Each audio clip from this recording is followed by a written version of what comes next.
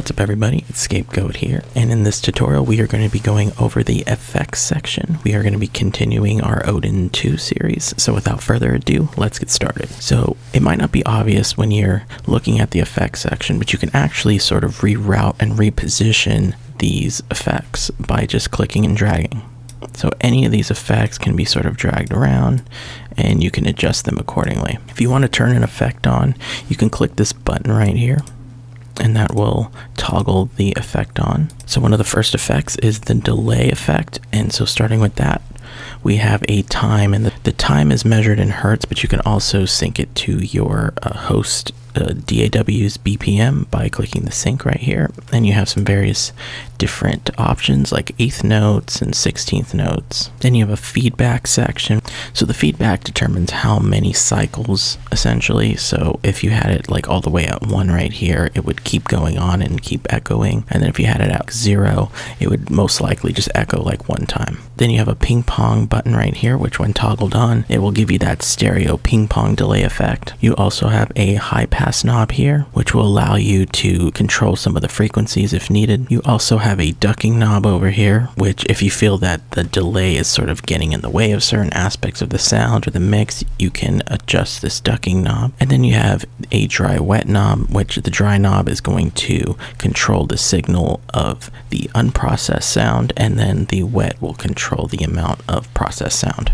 So next you have your chorus, and it's very similar to the delay. It has a chorus rate, which can be synced. You also have the modulation, which is going to control how much the internal LFO modulates the two delay times. Then you have your feedback, which is going to control how much of the delay line is fed back. And you have a reset button as well. Lastly, for this effect, you have a dry wet, which can control the balance of processed and unprocessed signal. Next, you have the phaser, which is also very similar. You have your rate, which can be synced. You have your feedback, which acts as an extra feedback stage in this case. You also have the modulation knob, which is going to control that internal LFO. You also have a frequency, which you can use the phaser frequency knob to shift the base frequency of the internal all pass filters. This can allow you to alter the characteristic of the effect. Then you have your reset knob, as you have a reset button as well. And then you also have your dry wet knob to control your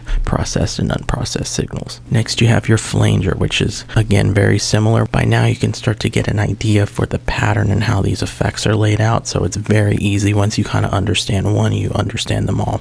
You have your rate, which is syncable, the modulation, which controls the internal LFO. You have your feedback. You also have your reset button and then your dry wet as well. Lastly, here we have the reverb, and the reverb is essentially going to provide you that room sound effect, which you have a pre-delay knob, which is going to control how much the signal is delayed before being fed into the reverberation. You have a decay knob, which is going to control the length, the tail of the reverb. You have a high frequency damp knob, which is going to allow you to control how much of those high frequencies are attenuated. You also have a EQ gain, which you're essentially given an EQ to help shape the sound of the reverb a little more. And this gain will allow you to boost the peak that you dial in with this EQ frequency knob here. And boosting is only just one case scenario for this EQ knob. You can also take some of the frequencies away by lowering the volume in decibels.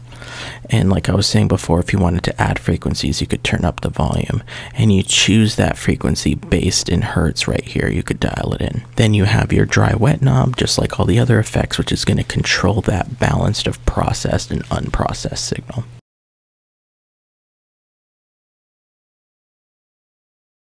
Mm-hmm.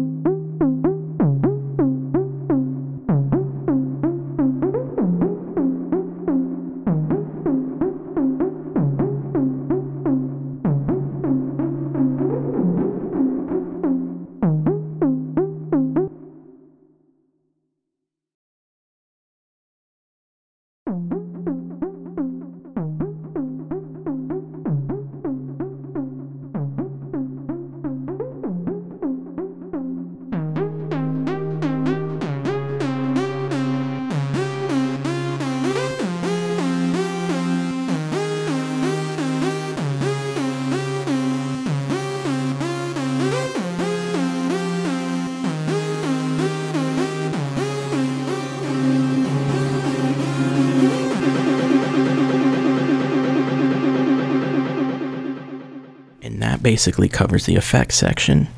I hope you found this one helpful. And the next one, we are going to be going over the modulators and maybe a little bit of something else there. So stay posted for that. I hope you found this one helpful. Until next time.